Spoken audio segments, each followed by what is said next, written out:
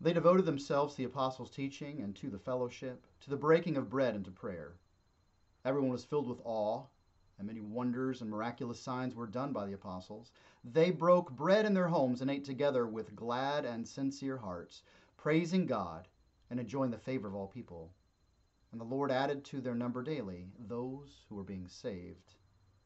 Acts 2 42 through 47. This is an image of the earliest days of the church.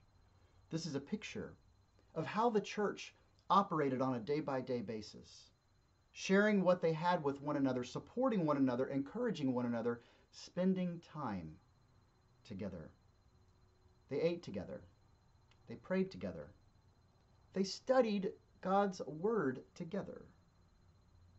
And it was attractive, it was beautiful, it gave favor to all the people who heard about it, all the people who saw it, and people wanted to be a part of it.